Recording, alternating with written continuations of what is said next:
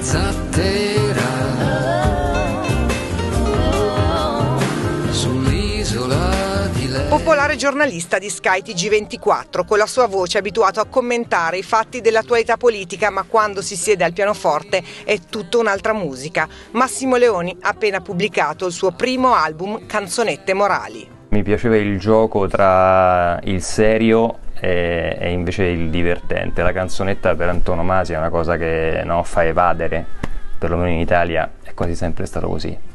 E morali perché ho, ho l'ambizione di dire qualcosa di interessante e poi perché alla fine Leopardi sì mi è sempre piaciuto. Forse il viaggio e la casa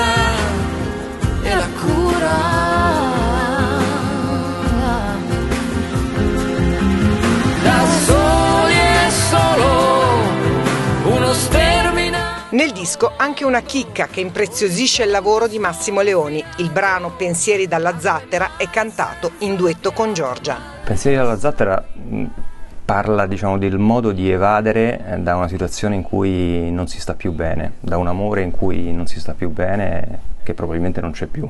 La zattera è il simbolo diciamo, della possibilità di fuga e poi il pezzo si conclude con, eh, come quasi sempre nella vita, con l'arrivo presso un altro porto, no? e quindi un altro posto dove, dove rimanere, attraccare, avere delle speranze. Questo è un po' diciamo, quello che racconta la canzone. Giorgia è un'amica da tantissimo tempo, direi da prima che diventasse Giorgia, e mi ha fatto questo enorme regalo e io la voglio molto ringraziare. Io penso che il pezzo sia molto bello, però la sua voce l'ha fatto decollare verso posti che non, eh, non pensavo neanche io e credo che abbiamo, siamo riusciti a trovare una, un bel incontro tra anche stili e anche modo di scrittura molto diverso, eh, però lei è grande.